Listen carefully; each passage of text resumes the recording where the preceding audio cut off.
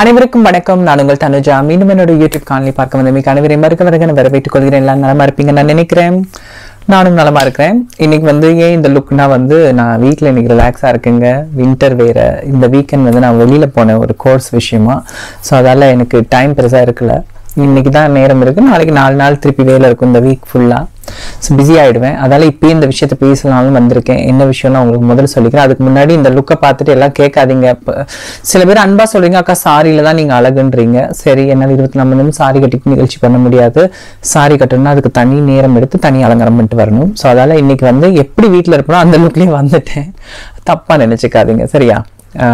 இப்படியும் செய்வோமே. ஆஹ் இதுக்காக நான் அலங்காரம் பண்ணிட்டு உட்கார முடியாது. ஏன்னா பேச போற விஷயம் ரொம்ப முக்கியமான விஷயம். அதில் லுக்கை பத்தி நான் இன்னைக்கு பேசல. இன்னைக்கு ஒரு வெறும் நார்மல் வீட்டில் இருக்க லுக் தான் ஓகே ஆர்ன கஞ்சி பழங்கஞ்சின்னு எங்க ஈழத்துல ஒரு பழமொழி இருக்கு. ஆறிப்போன கஞ்சி வந்து பழைய கஞ்சியா? அது ப- அது வந்து பழசாயிடுச்சுன்னு அர்த்தம். ஆறிடுச்சுன்னா கஞ்சி. அப்ப அது ஏன் அப்போ சொல்ல வரேன்னா இந்த விஷயம் வந்து சுட சுட இருக்கும்போது நான் பேசிட்டா நல்லது. ஒரு வாரம் கழிச்சு பேசினாலும் அது பழங்கஞ்சி ஆயிடும்ன்றபடியா சுட சுட இந்த விஷயத்தை இப்பயே பேசலாம்னு வந்திருக்கேன். என்ன விஷயம்னா சமீபத்துல ஒரு தாய் வந்து என்னோட மகனை வந்து திருநங்கை ஆக்கி விட்டுட்டாங்க. இந்த திருநங்கை கூட்டம் கூட்டு போய் இப்படி கெடுத்து விட்டுருச்சுன்னு சொல்லி ஒரு வீடியோ ஒரு பேட்டி கொடுத்துருந்தாங்க. அவர் சர்ச்சையாகி இன்னைக்கு யூடியூப் எங்கே திறந்தாலுமே இந்த கதை ஓடிக்கிட்டு இருக்கு. அதுதான் அதை பத்தி நான் பேச வந்திருக்கேன். முதல்ல எனக்கு இந்த விஷயம் வெளியில வந்தோடனே எனக்கு அதை பத்தி பேசுறீங்களான்னு என்ன கேட்டாங்க. அதுக்கு நான் மெல்லமா வரேன். அதுக்கு முன்னாடி இந்த விஷயத்தை நான் பேசுறேன். நிறைய விஷயங்களை நான் போட்டு உடைக்க போறேன். நிறைய விஷயத்த வகுத்து வாங்க போறேன். ஆம், இதால யாரும் என்ன தப்பா நினைக்க வேணாம். நீங்க தப்பா நினைச்சாலும் எனக்கு பிரச்சனை இல்லை. சில நேரங்களில் நடுநிலைவாதமா பேசும்பொழுது இந்த பக்கமும் சார முடியாது அந்த பக்கமும் சார முடியாது. அதெல்லாம் தப்பா நினைச்சுக்க நினைத்து கொள்ளாதீர்கள். நினைத்தாலும் ஐ டோன்ட் கேர் சரியா? ஸோ இந்த விஷயத்தை பற்றி என்னை பேச வர சொல்லும்போது நான் வந்து டைரெக்டாக சொன்ன விஷயம் என்னென்னா ஒரு ஒரு சார்பை நான் தப்பாக சொல்லிட்டு நான் சொன்னேன். இந்த தவறு தொடர்ந்து நடந்துக்கிட்டு தான் இருக்குது இதை பத்தி பேசி பிரயோஜனம் இல்லை எனக்கு இதை விட நிறைய கேசஸ் தெரியும். இதை பத்தி பேசி ப்ரோஜனம் இல்லை நான் பேச விருப்பம் இல்லைன்னு சொல்லிட்டேன். சரியா? அதுக்கு தகுந்த ஆள் நான் கிடையாதுன்னு வேற நான் நினைக்கிறேன். ஏன்னா, சர்வதே சர்வ சர்வதேச அளவில் நான் வந்து ஆக்டிவிசம் பண்ணிட்டு இருக்காள் நான் இந்த நாடுதான் சார்ந்து நான் பேசுறது நான் இலங்கைக்கும் குரல் கொடுக்குறேன். மலேசியாவுக்கும் நான் குரல் கொடுக்கும்போது இன்டர்நேஷனல் லெவலில் நான் ஆக்டிவிசம் பண்ணிட்டு இருக்கபடியா நான் இந்தியாவை தவறாக பேசவோ இல்லை இந்தியாவில் நடக்கக்கூடிய விஷயங்களை பற்றி சுட்டி காட்டுறது மட்டுமே என்னோட வேலையை நான் வச்சிருக்க முடியாது. அதுக்கு நான் உகந்த ஆளும் கிடையாது. தமிழ்நாட்டில் இருக்கக்கூடிய ஆக்டிவிசம் பண்ணுற திருநங்கை பேசியிருந்தா நல்லா இருக்கும் நான் யோசிச்சேன். அதால் நான் பின்வாங்கிட்டேன். அதுக்கப்புறம் என்னோட சகோதரி ஜெசிலாம் பேசியிருந்தாங்க. பார்த்துருந்தேன். அவங்க ஒரு ரெண்டு மூணு காணொலியில் பேசியிருந்தாங்க. இன்னும் எனக்கு வந்து எக்ஸாக்டாக என்ன நடந்துச்சுன்னு ஒரு ஒரு கொஞ்சம் பிக்சர்ஸ் தான் கிடைச்சிச்சு மோஸ்ட்லி இந்த மாதிரி ஒரு சம்பவம் நடக்கும்போது திருநங்கை எங்களுக்குள்ளேயே நியூஸ் வந்துடும் ஏதாவது தோழி மூலியமா அங்க மூலியமா எங்கள் மூலியம் எப்படியாவது எங்கள் எங்கள் சொந்த பந்தத்தில் ஒரு ஆளாக இருப்பாங்க. அப்போ அவளோட மகளா இவளோட மகளா நாங்கள் கண்டுபிடிச்சிருவோம். இந்த இதில் எனக்கு சம்மந்தப்படாதவங்க இருந்தபடியே எனக்கு இன்னும் எக்ஸாக்ட் நியூஸ் வந்து நியூஸ்லேருந்து வந்ததான்னு தவிர தனிப்பட்ட ரீதியாக எனக்கு இந்த நியூஸும் வரல. ஆனால் நான் இந்த இடத்துல வந்து பொதுவாக நான் ரெண்டு மூணு விஷயங்களை உங்களுக்கு நான் வகுத்து புரிய வைக்க ஆசைப்படுறேன். ஓகே நானும் இந்த வாழ்க்கையில் வந்து நிறைய புரிதல் இல்லாமல் தெரிஞ்சிருக்கேன். ஏன்னா புத்தகத்தில் நம்ம படிக்கிறது ஒன்று வாழ்க்கையில் நம்ம சந்திப்பது ஒன்று இயல்பு வேற புத்தகம் வேற. புரியுதா? இதுக்கு எடுத்துக்காட்டு நான் சொல்லணும்னா வந்து சினிமாவை எடுத்துக்கோங்க. வெள்ளத்தோல் வெள்ளத்தோல் வெள்ளை வெள்ளை வெள்ளையா இருக்கிறவங்க தான் அப்படியே சினிமா விளம்பரத்தை எடுத்துக்கோங்க. வெள்ளையா இருக்கிற ஒரு பொண்ணு வந்தாலே ஆஹா ஓஹோன்னு நம்ம பார்த்து வளருவோம். நிஜ வாழ்க்கையில வந்து எனக்கு தெரிஞ்சு எத்தனையோ வெள்ளையானவங்க நடந்து வந்தா அங்க ஒன்றும் ஆஹா ஓஹோன்லாம் வாய் பழக்கிறது இல்லை அவங்க குணம் அவங்களோட பழக்க வழக்கம் அவங்க படிப்பு அவங்களோட இது என்ன சொல்றது மக்களை எப்படி நடத்துறாங்கன்னு பார்த்தா அவங்களுக்கு மரியாதை. ஓகே நிறத்தால மரியாதைலாம் ஒன்று வரப்போதில்லை எனக்கு தெரிஞ்சு நல்ல கருப்பாக இருக்கிறவங்க நடந்து விஜயகாந்த் ஐயாலாம் நடந்து வந்தாருன்னா இன்னைக்கும் கையெழுத்து கும்பிட்றவங்க நிறைய பேர் இருக்காங்க. வெள்ளையா இருந்த அரசியல் தலைவர்களுக்கு கிடைக்கிற மரியாதைக்கு ஈக்குவலாக கருப்பா இருக்கிற விஜயகாந்த் ஐயாவுக்கும் கிடைக்குது. சூப்பர் ஸ்டாருக்கு கிடைக்குது. பெண்களையும் அதே மாதிரி தான் கருப்பா இருக்கிற பெண்களுக்கு ஒன்றும் மரியாதையெல்லாம் இல்லாமல் போச்சு. நம்ம சொல்ல முடியாது பார்க்கறது ஒன்று நடக்கிறது ஒன்றுன்ற மாதிரி நான் இந்த ஆக்டிவிசம் இந்த நிறைய இசமெல்லாம் இருக்குல்ல அவங்களோடலாம் சேரும்போது எது எதெல்லாம் தவறுன்னு நினச்சின்னா அது வந்து இயல்பு வாழ்க்கைக்கு அடிப்படை வாழ்க்கைக்கு தேவைப்படுதுன்றதை நான் லேட்டர் புரிஞ்சுக்கிட்டேன். அது எதை நான் சொல்ல வரேன்னா எங்களுடைய ஜமாத் சிஸ்டம் ஆவுனா வந்து ஜமாத்தை குறை சொல்லக்கூடிய நிறைய ஆக்டிவிஸ்ட் திருநங்கைகள்லாம் இருக்காங்க. அவங்க என்ன சொல்லுவாங்க "ஓ, ஜமாத் சிஸ்டம் அது இது உங்கள் ஜமாத் உருப்படியாக இருக்கா உங்கள் ஜமாத் அப்படி தனிச்சு வாழணும் கிழிச்சு வாழணும்னு சொல்கிறீங்க ஏற்றுக்கிறேன் பிரச்சனை இல்லை. தனிச்சு எங்கே வாழ முடியும்னா இந்த மாதிரி ஐரோப்பா நாடுகள் மாதிரி நாடுகள் வந்து முன் வந்து திருநங்கைகளை பெண்கள் மாதிரி நடத்தி திருநங்கைகளுக்கு தேவையான சிகிச்சைக்கான எல்லா பலன்களையும் கரெக்டா அமைச்சு கொடுத்து அந்த பாதையை அமைச்சு கொடுத்து அவர்களுக்கு மென்டல் ஹெல்த்ல இருந்து ஹெல்த் வரைக்கும் அவர்களுக்கு தேவைப்படக்கூடிய வசதிகளை செய்து கொடுத்திருந்தா தனிச்சு வாழும்பொழுது ஜமாத் தேவையில்லைன்னு நம்ம சொல்லலாம். அப்படி வாழக்கூடிய எங்களுக்கே ஒரு விதத்துல ஜமாத் தேவைப்படுது. அதுக்கு நான் பின்னாடி வரேன். இந்தியா போன்ற நாடுகள்ல வந்து ஜமாத் கண்டிப்பா தேவை. நான் அரசாங்க ரீதியாக பெரிய ஒரு இது வா- இதே இல்ல திருநங்கைகளுக்கு. இப்போ தொண்ணூத்தொன்பது சதவீதம் திருநங்கைகளாக தான் போராடி அவங்க வாழ்க்கை அமைச்சுக்கணும். அதுல ஒன்று ரெண்டு சதவீதம் அரசாங்க ரீதியாக அவங்களுக்கு ஏதோ ஒன்று கிடைக்குது. அப்படி இருக்கும்போது ஜமாத்துன்ற ஒரு சிஸ்டம் வந்து இந்தியாவில் ரொம்ப ரொம்ப ரொம்ப முக்கியம். அது இருக்கிறபடியா தான் இன்னைக்கு வரைக்கும் திருநங்கைகள் இயங்கிட்டு இருக்காங்க வாழ்ந்துட்டு இருக்காங்க. சவாய் பண்ண முடியுது அவங்களால. அதனால நான் ஜமாத் இந்த இடத்துல குறை கூடுறது தப்பு. நான் ஜமாத்தில் நடக்கக்கூடிய தவறுகளை மட்டும்தான் நான் சுற்றி காட்டியிருக்கேன் அதனால் ஜமாத்துக்கு நான் என்றைக்குமே சப்போர்ட் பண்ணி இதால என்ன எனக்கு நிறைய விமர்சனம் வரும். நிறைய சோ கால்ட் ஆக்டிவிஸ்ட் படித்தவங்கலாம் வந்து ஓ நீ இவ்வளோ ஆக்டிவிசம் பேசுகிற நீ எப்படி ஜமாத்தை சப்போர்ட் பண்ணலாம்?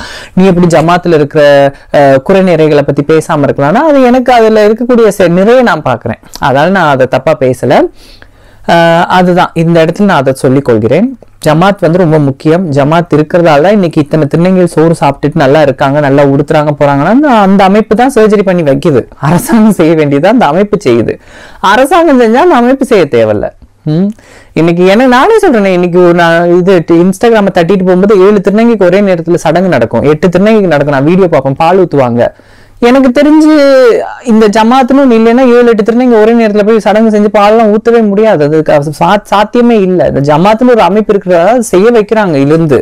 அவளுக்கு அவளுங்களுக்கு ஒண்ணு கூடி அது நடக்குது. அவளுங்க அவளுங்க ஆசைகளை தீர்த்துட்டு அடுத்த பாதையை நோக்கி போறாங்க இல்லையா? அப்ப அந்த நல்லதும் இருக்கு. எனக்கு தெரிஞ்ச எந்த ஆக்டிவிஸ்ட் திருநங்கையும் ஒரு திருநங்கை கூட்டு போய் சர்ஜரி பண்ணி விட்டு பால் ஊத்துனது நான் பார்த்ததே கிடையாது. ஆக்டிவிஸ்ட்னு சொல்கிற எல்லாருமே சுயநலவாதிங்க. உட்காந்துக்கிட்டு நல்லா எங்களுக்கு உதவி செய்யுங்க எங்களுக்கு உதவி செய்யுங்க. நாங்கள் கஷ்டப்படுறோம் கஷ்டப்படுறோம் காசை தூக்கி பாக்கெட்டில் போட்டுட்டு நல்லா தின்னுட்டு கஷ்டப்படும் போது ஃபேஸ்புக்கில் ஒரு போஸ்ட் போடுவாங்க. நாங்கள் இங்கு கஷ்டப்படக்கூடிய திருநங்கைகள். எங்களுக்கு எந்தவித உதவியும் இல்லை அப்படின்னு போட்டுட்டு எங்கேயாவது தோழர்கள்ட்ட காசை வாங்கிட்டு மொ- சாப்பிட்டுட்டு விமர்சிச்சுட்டு போகிறது மட்டும்தான் அவங்க தொழிலாக வச்சுருக்காங்க. உண்மையாக பார்க்க போனால் அந்த கடைக்கோடியில் இருக்க திருநங்கைகள்லாம் ஒருத்தர் ஒருத்தர் அரவணைச்சு ஒருத்திக்கு கஷ்டம்னா போய் நின்று போராடி குரல் கொடுத்து ஒரு அந்த அமைப்பு இன்னைக்கு வரைக்கும் திருநங்கை நெஞ்சு நிமித்தி நடக்கிறான்னா அது உலகம் ஃபுல்லாக இருக்கக்கூடிய தமிழ் பேசும் திருநங்கைகளுக்கு இருக்க ஜமாத் தான் அதுக்கு ஒரு காரணம். அதால் அதை நான் குறை கூற விரும்பவில்லை. ஓகே இந்த இடத்துல நான் இதை கிளியர் பண்ணிக்கிறேன். ஆனால் இப்போ வந்து என்ன பிரச்சனைனா ஒரு அம்மா வந்து சொல்கிறாங்க என்னோட மகனை வந்து பதினஞ்சு வயசு மகனை கூட்டிகிட்டு போயிட்டாங்க. மூக்குத்தி குத்தி பாவாடை சரியெல்லாம் போட்டு அவங்க மாற்றிட்டாங்கன்னா மகனை திருப்பி கேட்குறேன் மகன் படிக்கணும் விட மாட்டுறாங்க அப்படி இப்படின்னு சொல்கிறாங்க அந்த அம்மா. அவங்க சொல்கிறத பார்த்தா மகனுக்கு வந்து இன்ட்ரெஸ்டே இல்லை. ஒரு சாதாரண ஒரு ஆம்பளை பையனை வற்புறுத்தி கூட்டிகிட்டு போன மாதிரி அவங்க சொல்கிறாங்க எனக்கு ரெண்டு பக்கமும் தெரியும். எங்கள் ஆளுங்க நான் சொல்கிறேன் எங்க ஆளுங்க வந்து எந்த ஆம்பளை பையனும் வற்புறுத்திலாம் கூட்டிகிட்டு போக முடியாதுங்க. ஃபர்ஸ்ட் ஆஃப் ஆல் சமுதாயம் வந்து திருநங்கைகளை தப்பாக தான் பார்க்கும். எப்போவுமே தப்பாக தான் பார்க்கும். சரியா? நாங்கள் நல்லது பண்ணாலும் சரி தப்பு பண்ணாலும் சரி நாங்கள் தான் தவறு பண்ணியிருக்கோன்ற மாதிரி சமுதாயம் பார்க்கும். அரசு அரசு அரசாங்கம் பார்க்கும் காவல்துறையும் பார்க்கும். அதில் எங்க ஆளுங்க வந்து யாரோட பிரைனையும் வாஷ் பண்ணி கூட்டிகிட்டு போக முடியாது. அப்படியே கூட்டிகிட்டு போனாலும் யாரையும் நம்ம தக்க வச்சுக்க முடியாது. அந்த பையனுக்கு எப்படின்னா ஓடிடும் ஒரு ஒரிஜினல் ஆம்பளை பையன் உண்மையாக ஆணுணர்வோடு இருக்கிறவன் என்னைக்குமே பாவாடை சட்டையை போட்டு அந்த இடத்துல இருக்க மாட்டான் ஓடிடுவான். நானே ஓடிடுவேன். புரியுதா? என்னை யாராவது வைப்ப- வற்புறுத்தி கூட்டிகிட்டு போனால் நாங்கள் ஓடிடுவோம். எந்த ஒரு மனிதனும் அங்கே இருக்க மாட்டோம் அப்படி ஒன்றும் அடக்குமுறையெல்லாம் போட்டு இங்கே கட்டி போடலாம் முடியாது. ஓடி தான் போயிடும். அதால் எனக்கு தெரிஞ்சு எங்க ஆளுங்க எந்த ஒரு பையனையும் கூட்டிட்டு போய் வச்சிருக்க மாட்டாங்க. அந்த பையனுக்கு வந்து உண்மையாவே ஒரு பெண் உணர்வு இருந்திருக்கும். அதால ஈர்க்கப்பட்டு போயிருக்கும். அதுக்குள்ள நிறைய உளவியல்லாம் இருக்கு. என்னன்னா அந்த பையனுக்கு வந்து அவன் திருநங்கையா தன்பால் பெண் உணர்வு கொண்டவனா இல்ல பெண் உடை போடுவதை மட்டுமே ஆசையா வச்சிருக்கவனா அவனுக்கு ஜெண்டர் ஐடென்டிட்டி டிசார்டர் இருக்கா அப்படின்னு நிறைய அதுக்குள்ள சைக்காலஜிக்கல் விஷயம்லாம் இருக்கு. அது வந்து ஒரு சைக்காட்ரிஸ்ட் தான் பண்ணணும் இப்போ என்ன பிரச்சனை ஆரம்பிக்குதுன்னா இந்த மாதிரி ஒரு குழந்தைக்கு வந்து இந்த பிரச்சனை இருக்குன்னா எங்களோட ஐரோப்பிய நாடுகளில் வந்து அந்த குழந்தைக்கு வந்து மனோ தத்துவ நிபுணர்னு இங்கே ஒருத்தர் இருப்பார். அவர் அரசாங்கமே அங்கீகரிச்சு அரசாங்கமே ஊக்குவிச்சு அவர்கிட்ட நாங்கள் போகணும். அவர்கிட்ட ஒரு வருஷம் ரெண்டு வருஷம் நாங்கள் பேசணும்.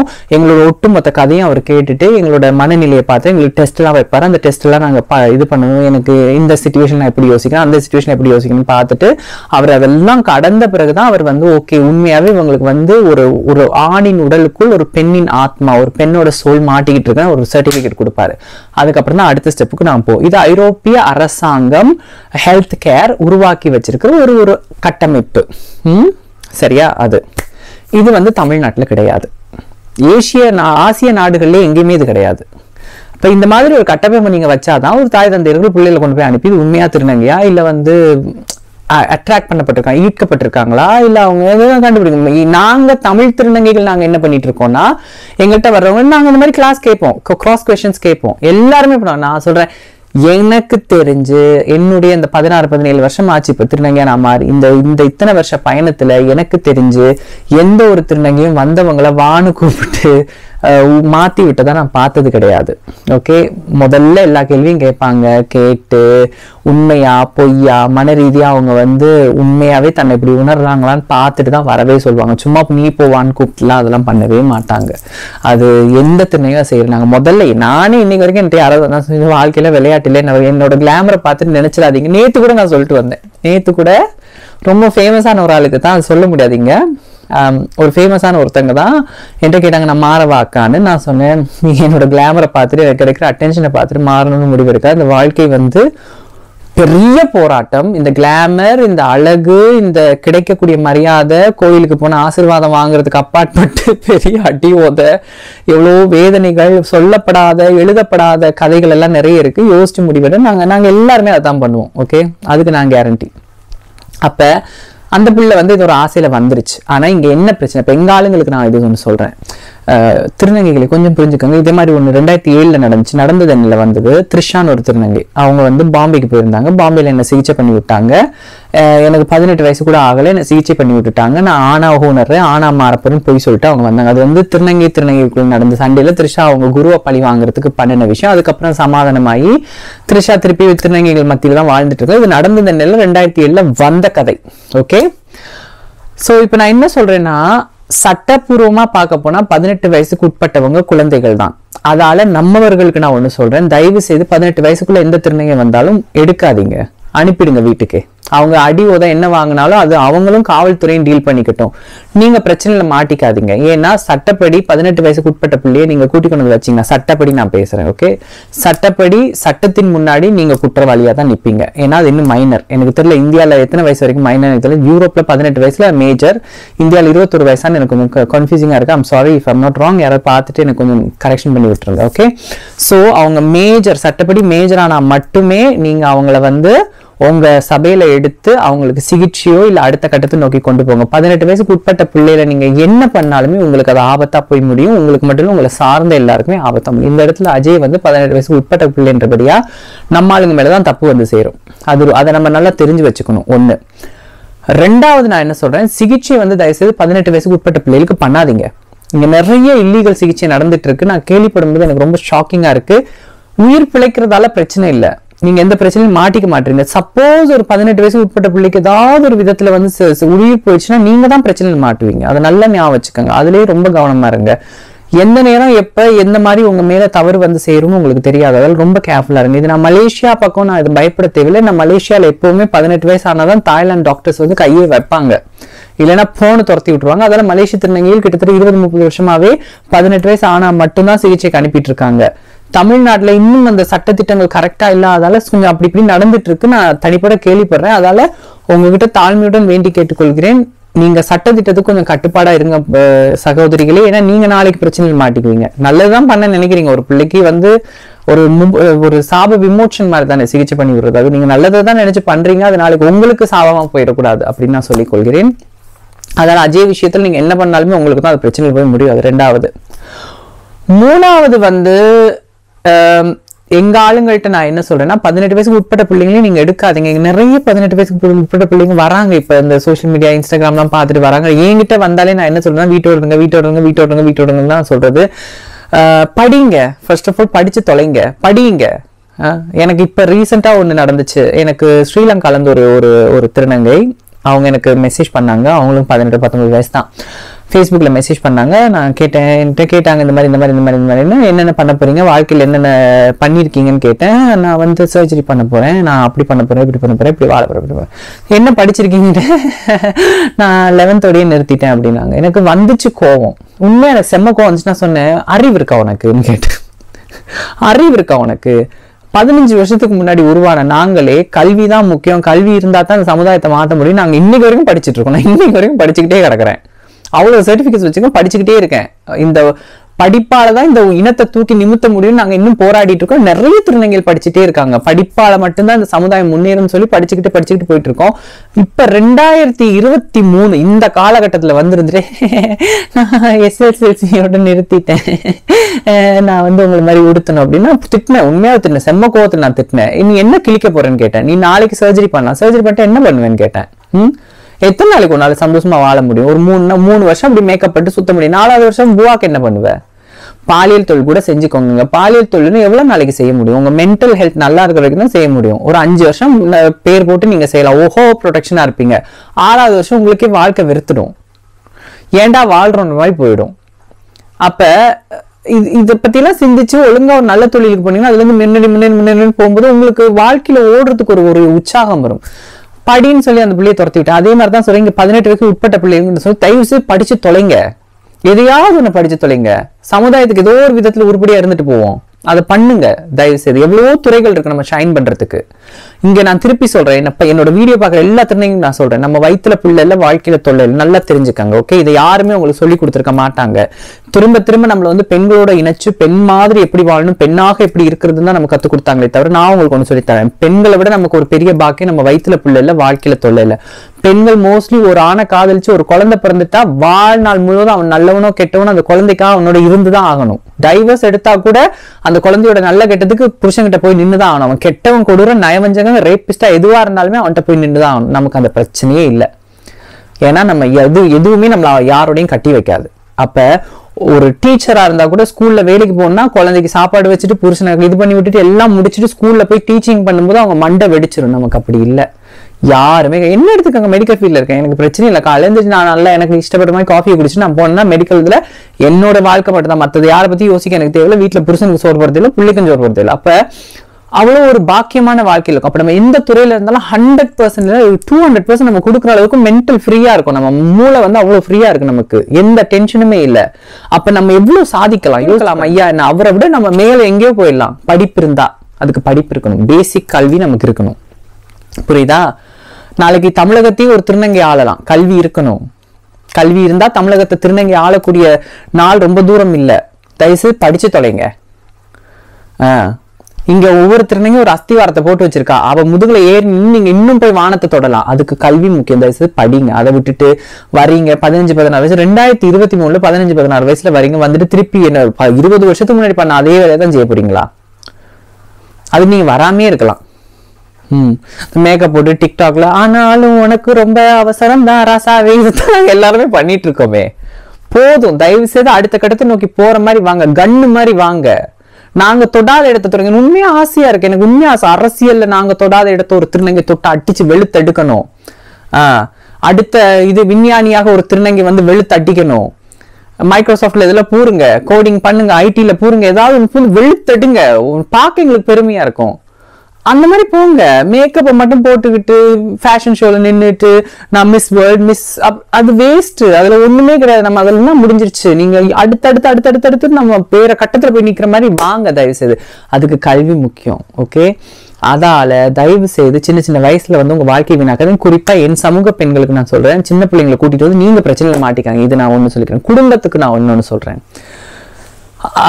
குடும்பம் வந்து என்னதான் நடித்தாலும் ஓகே எங்கள் பிள்ளை எங்கள் பிள்ளைக்கு அப்படி எங்கள் பிள்ளைக்கு இப்படி நீங்கள் நடித்தா நீங்கள் வீட்டில் பண்ணுற குடும்பம் கொஞ்சம் நஞ்ச குடும்பம் இல்லை. அது வந்து மாறின திருநங்கையாக இருக்கலாம் மாறாத திருநங்கையாக இருக்கலாம் யாராக இருந்தாலும் நீங்கள் பண்ணுறது கொஞ்சம் நஞ்சம் இல்லை. இன்றைக்கி பாருங்கள் நாங்களாம் இன்றைக்கி தனியாக வாழ்கிறோனாலே குடும்பத்தோட தலைவலி தாங்க வேணாம் தான் நாங்கள் வந்து தனியாகவே உட்காந்துருக்கோம் ஓகே நீங்கள் மாறுறதுக்கு முன்னாடியும் குடும்பம் தான் மாறின பிறகும் குடும்பம் தான் சிகிச்சைக்கு முன்னாடியும் குடும்பம் தான் சிகிச்சைக்கு பின்னாடியும் குடும்பம் தான் எப்போவும் எங்களுக்கு குடும்பம் தான். இந்த டாக்ஸிக் குடும்பம் வேணான்னு சொல்லிட்டா எல்லாமே ஒதுங்கி நிற்கிறோம் நாங்கள் குடும்பமே ஒரு குழந்தைக்கு என்ன விருப்பமோ அதன்படி விட்டுருங்க. நீங்க எவ்வளவுதான் கட்டி வச்சாலும் அந்த குழந்தை தனக்கு பிடிச்சது தான் தேடி போக போகுது. புரியுதா? அதால் நீங்கள் எவ்வளவுக்குள்ள அணை கட்டுறீங்களோ அவ்வளவுக்குள்ள அது அட்- உடைச்சுக்கிட்டு தான் போக போகுது. பெற்றோர்களுக்கு நான் ஒன்று சொல்கிறேன் உங்கள் குழந்தைக்கு கல்வியை கொடுங்க. அந்த குழந்தைக்கு அடிப்படை வாழ்க்கையை ஒழுங்காக அமைச்சு கொடுங்க. நீங்களாக ஃபோர்ஸ் பண்ணி ஒரு தள்ளி விடாதீங்க. இன்னைக்கு பாருங்கள் மதுரை காளியம்மாவை பாருங்கள் அவங்க ஒரு இன்டர்வியூ சொல்கிறாங்க என் பொண்டாட்டி சரியில்லைன்னு அது திருநங்கி அம்மான்னு பொண்டாட்டி நல்லா இருந்தால் நான் பாட்டில் நல்லா இருந்திருப்பேன் தானே. குடும்பத்தோட இருந்து. நீங்கள் நீங்க பிடிச்ச இந்த மாதிரி கல்யாணம் பண்ணி வச்சு குழந்தை பெற்றுக்கோன்னு சொல்லி இங்கேயும் ஒரு குடும்பம் வருவாய் அங்கேயும் ஒரு குடும்பம் வருவாய் இதெல்லாம் தேவையா? அதுக்கு அவங்க விருப்பப்படி அவங்கள வாழ விட்டா எல்லார் வாழ்க்கையும் நல்லா இருக்கும். அதால குடும்பம் யாரையும் ஃபோர்ஸ் பண்ணாதீங்க. அது இந்த பிள்ளையோட அம்மாவா இருந்தாலும் அந்த பிள்ளை நாளைக்கு மாறப்போகுதுன்னா அந்த பிள்ளைய வீட்டோட வச்சிருந்து அழகா படி படிக்க வச்சு நல்ல எடுத்துக்கொண்டு போய் எங்கிட்ட ஒரு எடுத்துக்காட்டு இருக்கு. என்கிட்ட ஒரு எடுத்துக்காட்டு நான் வச்சிருக்கேன். பொக்கிஷ மாதிரி வச்சிருக்கேன் என்னோட பேத்தி ஒருத்தி. என்னோட நாத்திச்சேல ஒருத்தி இருக்கா கோயம்புத்தூர்ல.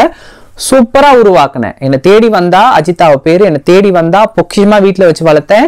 அவங்க அம்மா அப்பா கவுன்சிலிங் கொடுத்தோம். அவங்க அம்மா அப்பா லெவலுக்கு அம்மா கவுன்சிலிங் கொடுத்தோம். அம்மா புரிஞ்சுக்கிட்டாங்க. சமுதாயம் புரிஞ்சுக்கிச்சு ஸ்கூல் புரிஞ்சுக்கிச்சு. ஸ்கூலே அவளை அரவ அரவணைச்சிச்சு. இன்னைக்கு நல்லா இருக்கா? நான் சொல்லி வச்சிருக்கேன் ஐபிஎஸ்ஸாக நீ ஆகணும் ஐபிஎஸ் அஜிதாவை தான் பார்க்கணும்னு சொல்லி வச்சிருக்கேன். கன்னு மாதிரி வளர்த்து வச்சிருக்கோம். அந்த மாதிரி உருவாக்குங்க. குடும்பமும் சேர்ந்து உருவாங்க. ஒரு சமுதாயமும் சேர்ந்து எல்லாரும் வந்து கேள்வி கேட்காதீங்க. திருநங்கையும் அப்படி திருநங்கையும் இப்படி திருநங்கையும் அதை பண்றாங்கன்னு. திருநங்கை எதை பண்ணாலுமே நீங்களும் சேர்ந்து ஒரு திருநங்கை உருவாக்கணும். நல்ல திருநங்கை வேணும்னா நீங்க எல்லாரும் சேர்ந்து உருவாக்குனா தான் நல்ல திருநங்கை உருவாங்க அதுக்கு அஜிதா ஒரு நல்ல எடுத்துக்காட்டு. நல்ல ஸ்கூல் நல்ல அம்மா நல்ல திருநங்கை தாய் நல்ல திருநங்கை பாட்டி. அப்ப நாங்க எல்லாருமா சேர்ந்து வளர்த்தபடியா பிள்ளை நல்லா வந்திருக்கு. அப்ப எல்லாம் உங்க கையில தான் இருக்கு. சமுதாயம் இதுக்கு வந்து சேர்ந்து நீங்க வேலை செஞ்சாதான் ஏன்னா நீ இன்னைக்கு இவ்வளோ சிதைஞ்சு போயிருக்க திருநங்கைக்கு நீங்கள் தான் காரணம். நீங்கள் தான் அந்த பிள்ளைங்களை கெடுத்தது. நீங்கள் தான் அந்த பிள்ளைங்களை படிக்கணும் பண்ணது. நீங்களும் சேர்ந்து மாற்றினா தான் நல்ல சமுதாயம் வருவான் அரசாங்கத்திற்கு நான் ஒரு கேள்வி கேட்டுக்கிறேன். அரசாங்கமே போதாது. சும்மா நன்கொடை அரிசி பருப்பு கொடுத்து பிர- பிரயோஜனம் இல்லை. அந்த பிள்ளைகளுக்கு பள்ளிக்கூடத்தில் திருநங்கை அம்மா பிறகு படிக்கிறதுக்கு வசதி செஞ்சு கொடுங்க. அடிக்கிற குடும்பத்தை வந்து கவுன்சிலிங் கொடுங்க. காவல்துறையிட்ட விட்டு மிரட்டுங்க. இந்த மாதிரி திருநங்கையா ஒரு குழந்தை மாறிச்சுன்னா அந்த பிள்ளை பொம்பளை ட்ரெஸ்ஸோட ஸ்கூலுக்கு போயிட்டு வீட்டுக்கு வரும். நீங்க கொடுமைப்படுத்தக்கூடாதுன்னு அரசாங்க ரீதியான சேஃப்டி கொடுங்க. ஒரு பதினெட்டு வயசுக்கு உட்பட்ட திருநங்கை வீட்டை விட்டு ஓடி போய் எங்கேயாவது மாட்டுப்பட்டுட்டான்னா அது பெற்றோர்கள் மீது தான் குற்றம்னு கொண்டு வாங்க. ஏன்னா குழந்தைய ஒழுங்கா வளர்க்கல. அந்த குழந்தைக்கு என்ன கொடுமை நடக்குன்னு செக் பண்ணுங்க. சைல்டு வெல்ஃபேர் உருவாக்குங்க. பதினெட்டு வயசு உட்பட்ட குழந்தைங்களை பத்திரமா பாதுகாருங்க. இதெல்லாம் ரொம்ப முக்கியம். நான் அதை தயவு செய்து தமிழக அரசாங்கம் மட்டும் இல்லை ஒட்டுமொத்த ஆசிய அரசாங்கத்திலேயே நான் அதை வேண்டி கேட்டுக்கொள்கிறேன். பதினெட்டு வயசு உட்பட்ட குழந்தைகள் குறிப்பாக திருநங்கை குழந்தைக்கு இதெல்லாம் செஞ்சு கொடுங்க. செஞ்சு கொடுத்தா எந்த பிரச்சனையும் வராது யாரும் பிரச்சனையும் மாட்டிக்க போறதில்ல எங்க ஆளுங்க பாவம். அவங்க பாட்டில் ஒரு ஜமாத்தை வச்சுக்கிட்டு அவங்க பாட்டில் வாழ்ந்துக்கிட்டு அவங்க ஒருத்தர் ஒருத்தர் அனுபவிச்சுக்கிட்டு நல்லா தான் போயிட்டு இருக்காங்க. கு- தப்பு நடக்கலைன்னு நான் சொல்லலை. தப்பு எல்லா இடத்துலையும் தான் நடக்குது. சமுதாயத்தால் ஒதுக்கப்பட்ட என் இனத்து பெண்கள் கையை தட்டிட்டு தப்பு பண்ணுறாங்க நீங்கள் சொல்கிறீங்க கொடுமைப்படுத்துறாங்க. எல்லாமே சொல்கிறீங்க எஸ் காசு பறிக்கிறதெல்லாம் நடக்குது. எங்கள் ஆள்கள்ட்ட எக்ஸ்பிளேஷன்லாம் நடக்குது. நான் இல்லைன்னு சொல்லலை. நீங்கள் பெரிய பெரிய முற்போக்கு சிந்தனையாளர்னு சொல்லிட்டு இருக்கவங்க கூட தான் ஏமாத்திட்டு இருக்காங்க. பெரிய ரீதியாக ஏமாத்திட்டு இருக்காங்க. எவ்வளோ பேர் திருநங்கைகளோட கதைகளை விற்று சம்பாரிச்சிட்டு இருக்காங்க. அவங்களோட சதை அவங்களோட ரத்தம் அவங்களோட வேதனையை வச்சு சம்பாரிச்சிட்டு இருக்காங்க. அதை கதையாக்கி அதை படமாக்கி சம்பாரிச்சிட்டு இருக்காங்க. எத்தனையோ இயக்குனர்கள் எங்கள் கதையை வந்து கேவலப்படுத்தி அதை ஒரு படமாக்கி அதுல பணமாக்கி அதுல நல்ல கோடி கோடியா சம்பாரிச்சு திருநங்கை சென்டிமெண்ட்டை வேற போட்டுக்கிட்டு அதில் இப்படியே ஏமாத்திலாம் வாழ்ந்துட்டு இருக்கான் அப்படி பார்க்கும்போது எங்க ஆளுங்க செய்யறது ஒன்றும் பெரிய குற்றம் இல்லை. இங்க வந்து பெரிய குற்றங்கள் வெளியில நடந்துட்டு இருக்கப்படியா நான் இந்த இதை பெருசா பார்க்க மாட்டேன். எஸ் நிறைய தவறுகள் நடக்குது. அது மாறும். அது எல்லாம் எல்லாம் மாறும். அதை உருவாக்குன சமுதாயம் நீங்கள் தான். உங்க ஒதுக்கி ஒதுக்கி ஒதுக்கி ஒதுக்கி ஒதுக்கி கேவலமாக ஏளனமாக பார்த்து பார்த்து இன்னைக்கு எள்ளி நகையாடிட்டு தான் இருக்கீங்களே தவிர ஒரு அள்ளி கொண்டாடுறதுக்கு நீங்க ரெண்டு இப்போ பாருங்க இந்த நியூஸ் இவ்வளோ காட்டுத்தியா பரவச்சு? ஒரு திருநங்கை தற்கொலை பண்ணி சாகிறா. காதல் காதலன் ஏமாத்தி தற்கொலை பண்ணி சாவா? அந்த விஷயம் பெருசாகாது. ஏன் தெரியுமா? அவன் பாவமா. அந்த பையனோட வாழ்க்கை வந்து ரொம்ப முக்கியமா. அவனுக்கு ஒரு வாழ்க்கை இருக்கான்.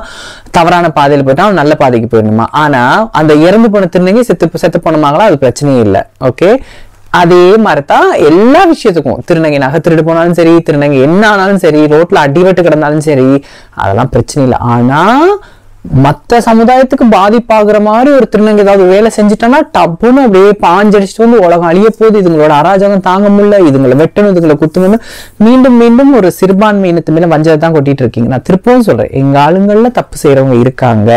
ஆனா நான் தீ மீண்டும் சொல்றேன் அவங்க இப்படி ஆனதுக்கு காரணம் நீங்க உங்க மாமா உங்க சித்தப்பா உங்க அப்பா இன்னைக்கு வரைக்கும் கேவலமா பேசிட்டு இருக்கோம் உங்க குடும்பங்கள் தான் அது காரணம். நீங்கள் அரவணைச்சு பாருங்க அராஜகம் பண்ணால் அவங்க வெக்கப்படுவாங்க. சரியா? என்ன அரவணைச்சீங்க? எனக்கு உண்மையாக சொல்கிறேன் எனக்கு இப்போலாம் நான் கோயிலுக்கு போனால் புடவை தான். நான் சுடிதார் கூட போடுறது இல்ல கோயிலுக்கு முழுக்க முழுக்க புடவையில் போகிறேன் ஏன் தெரியுமா? என்ன நீங்கள் அரவணைச்சீங்க? எனக்கு வெக்கமாக இருக்குது புரியுதா? ஒரு காலத்தில் நான் இப்படி இறக்கி பிளவுஸ் போட்டு சுற்றிட்டு இருந்தேன். இப்போ நான் அந்த பிளவுஸ் எல்லாம் நிறுத்திட்டேன். எனக்கு வெக்கமாக இருக்குது என்ன அரவணைச்சிட்டீங்க நீங்கள் நான் வரும்போது அம்மா வாங்கம்மான்னு கையெடுத்து கும்பிடுறீங்க. அப்போ நான் அது இறுக்கி இறக்கி போட்டுட்டு வந்தால் எனக்கு வெக்கமாக இருக்குது அப்போ எனக்கு செய்ததை எல்லாருக்கும் செய்யுங்க. அவங்களும் மாறுவாங்க. புரியுதா? அதை தான் உங்களுக்கு சொல்கிறேன் ஸோ மாற்றம் இந்த பக்கத்துலேருந்து வர தேவையில்ல. உங்கள்கிட்டருந்து வரணும். இதை நான் இந்த இடத்துல சொல்லிக்கிறேன். சும்மா சும்மா அவங்கள குறை சொல்லாதீங்க. இது நான் முழுமையாக எனக்கு என்னென்ன தோணுச்சோ அவ்வளவும் சொல்லிட்டேன். சொல்லாமல் விட்டது எதுவும் இல்லை. இந்த விள இந்த விஷயத்தை பற்றின விளக்கம் இல்லாதவர்களுக்கு இப்போ புரிஞ்சுக்கங்க. இப்படிதான் ரெண்டு- எல்லா பக்கத்துலையும் இதுதான் பிரச்சனைகளாக இருக்குது.